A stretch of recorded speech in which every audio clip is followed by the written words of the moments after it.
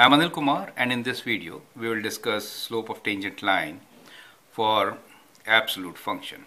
The question here is show that the slope of the tangent line at origin is not defined for absolute function f of x equals to absolute x. This is one of the most important questions you'll come across and uh, this question can be asked in many different ways. Let me first sketch uh, the function itself absolute x is equals to y equals to x. When x is greater than equal to 0 and is minus of x when x is less than 0 so that is how it looks like right?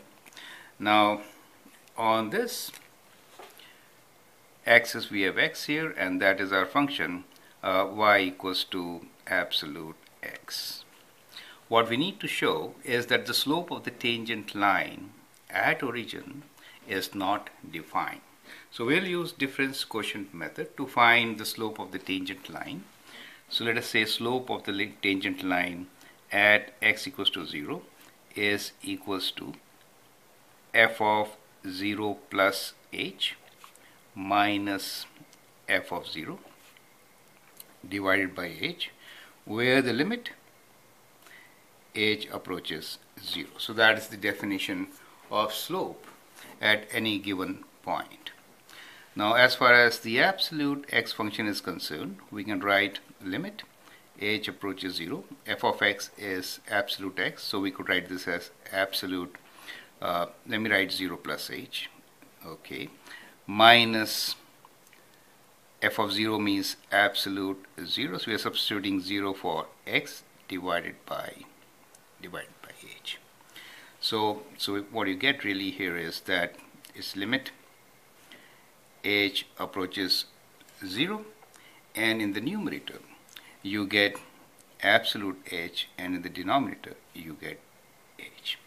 So that is the slope of the tangent for the absolute function as we approach 0.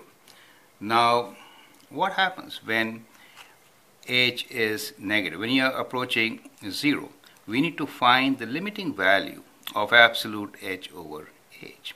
Now to find this limiting value, what we need to do is to find limit as h approaches 0 from the left side, that means minus, right, of absolute h over h.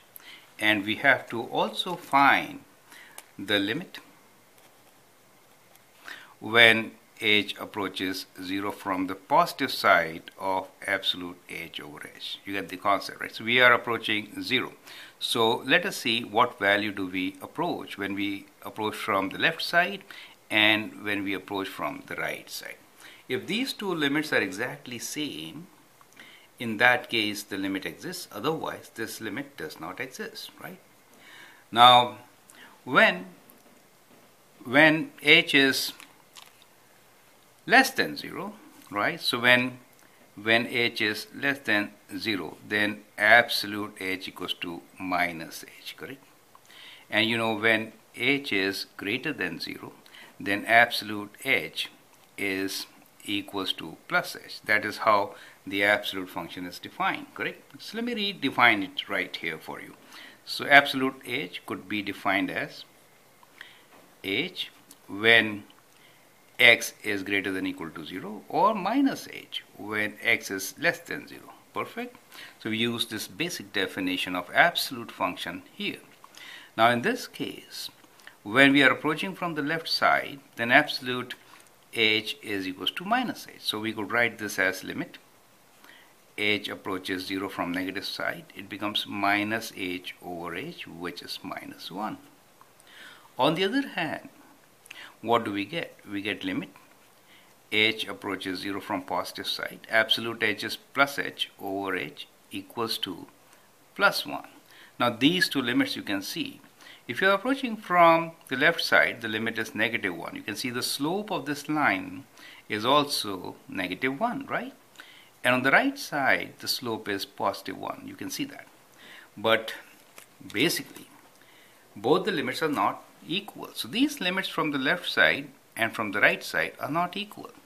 Since they are not equal, so we'll write here since limit of h approaching 0 from negative side for absolute h over h is not equal to the limit as h approaches 0 from the positive side for absolute h over h we say that slope of the tangent at x equals to 0 does not exist. Do you understand? Since the limit does not exist right? Or we could say from here the limit this this limit does not exist correct? So limit when h approaches 0 for absolute h over h does not exist. Since the limit from the left side is not equal to limit from the right side. As you've seen limit from the left side is minus 1 the limit from the right side is plus 1 right? So that is how you could actually prove it using difference quotient method. Earlier we have proved that you know at this point you know here you can draw a tangent which will have a positive 1 slope. Here you can draw a tangent which will have negative 1 slope. Here this is a corner right? So at a corner you could draw any kind of tangent. Do you see that we don't know which one we are talking about and that is how we explained earlier that uh, the tangent doesn't exist at the vertex and in the next chapter we will talk about differentiability or rate of change and then again we'll use similar concepts to prove it and that makes this question extremely important to understand. I hope that helps. I'm Anil Kumar. You can subscribe to my videos and learn a lot. Thank you and all the best.